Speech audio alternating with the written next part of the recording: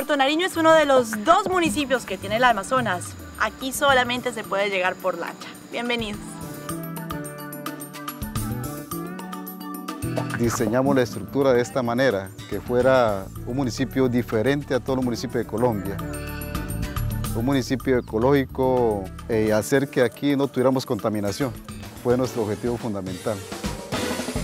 Queremos aprovechar la riqueza natural, queremos aprovechar la riqueza hídrica y la riqueza cultural de Puerto Nariño. Estamos en Puerto Nariño, otro paraíso colombiano.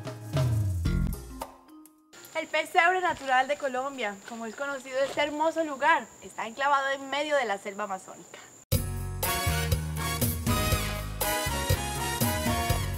Una pequeña microempresa familiar ya, que se llama Artesanía de Tachivo ya, que es en lengua ticuna, significa hormiga trabajadora ya.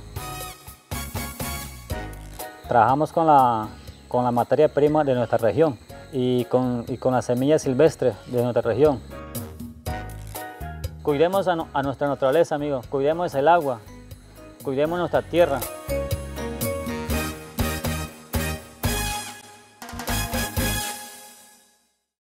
Paraíso colombiano.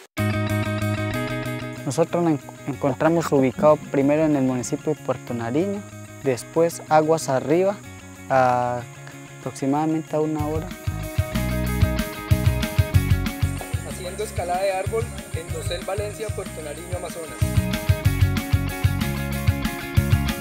Cuando venían en el avión, no miren para atrás, si ven ese tapete perfecto, esa alfombra, ese es el dosel de la selva, el techo.